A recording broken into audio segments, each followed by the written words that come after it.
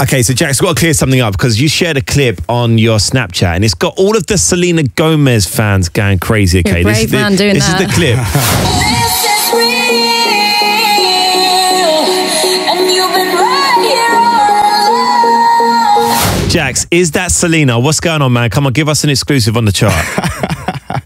I mean, I said on the title that it was Selena. Oh, So, I you're not wouldn't lying about that. Lying. There's no Milli Vanilli going Okay. on here. I was going to say blink once for yes, twice for no, but it is her. It is Selena Gomez, yeah. What's Amazing. going on there then? I mean, it's a great record. And one day I hope to release it. Perfect.